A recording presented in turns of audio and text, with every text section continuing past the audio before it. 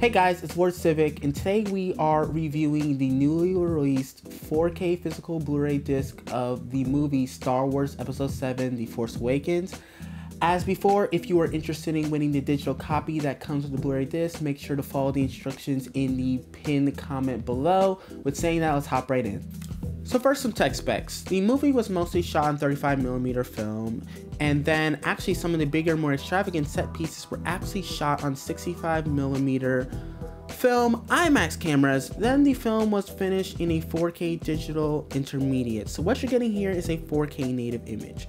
And honestly, the showstopper here in this film is the HDR implementation. It is jaw-droppingly gorgeous. Probably some of the best I've ever seen. Um, lightsabers are bright. Um, there were multiple sequences during Rey just driving around Jakku or cleaning stuff off or just walking with BB-8 where I literally had to pause the movie and every time the sky was showing, I was like, oh my gosh, dawn looks gorgeous, uh, sunset looks gorgeous, um, overcast looks gorgeous. Uh, I just wanted to see what the sky would look like next. It was just so beautiful. Desert sand also looked gorgeous.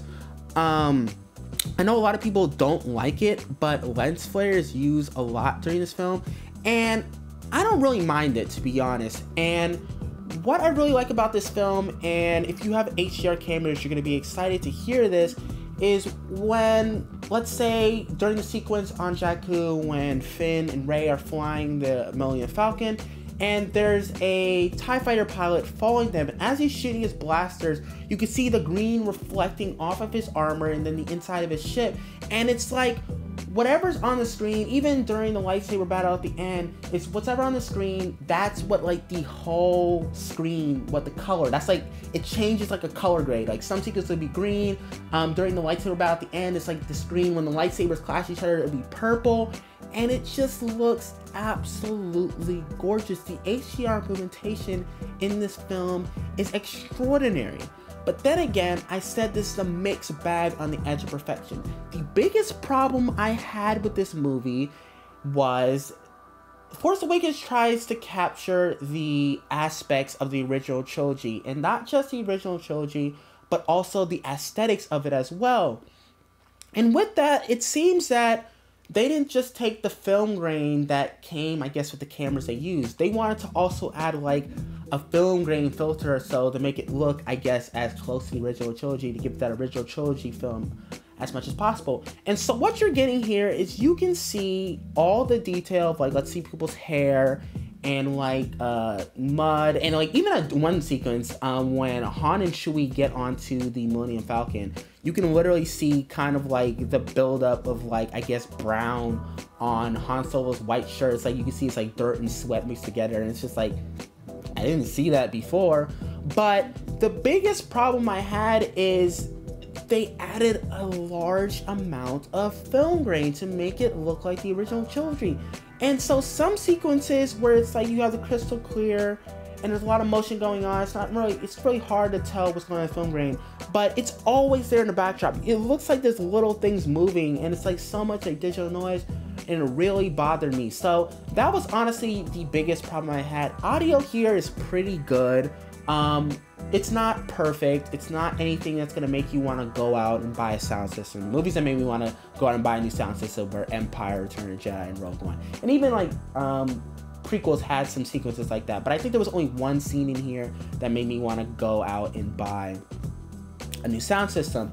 Um, picture, picture perfect blacks. I didn't see, uh, notice any black crushing throughout this film. Um, I didn't feel like there was any details lost either with the picture perfect blacks. Um, I really like how when Kylo Ren is on the screen, you can see like, especially when he has his mask on, you can see like the top part of his figure, and then at the bottom of the screen, it's like his the bottom rest of his outfit matches with the total like black bars on the top, bottom and top of the screen.